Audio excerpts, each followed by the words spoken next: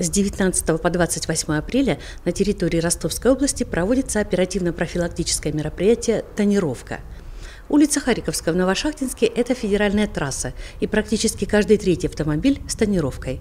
Так водитель защищает салон от ярких солнечных лучей, но при этом ограничивает видимость.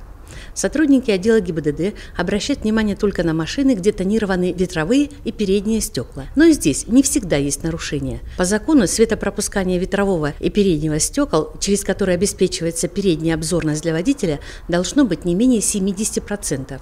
Проверяем. Нарушение. Водителю предлагают устранить его на месте, но от ответственности водитель не освобождается. Данное нарушение влечет за собой наложение штрафа в размере 500 рублей – также предлагается устранить на месте.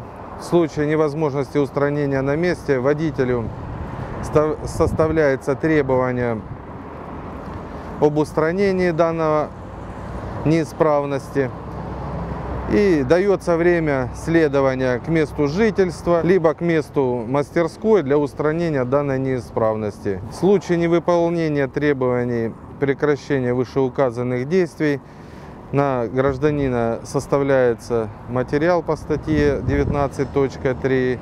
Лицо привлекается уже к административной ответственности в суде, где ему грозит штраф от 500 до 1000 рублей, либо административный арест сроком до 15 суток. Тонирование стекол на автомобилях правилами дорожного движения допускается, но надо же меру знать.